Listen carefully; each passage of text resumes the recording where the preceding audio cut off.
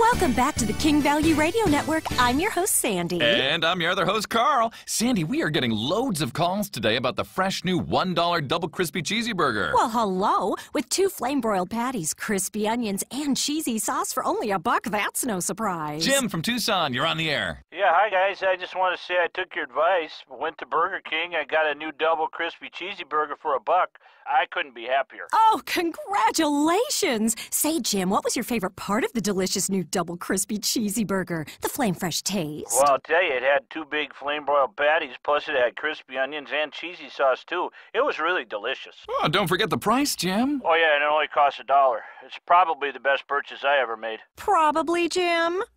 Okay, definitely. Yeah, there it is. Yeah. There it is. Get the new double crispy cheesy burger with double the flame fresh taste.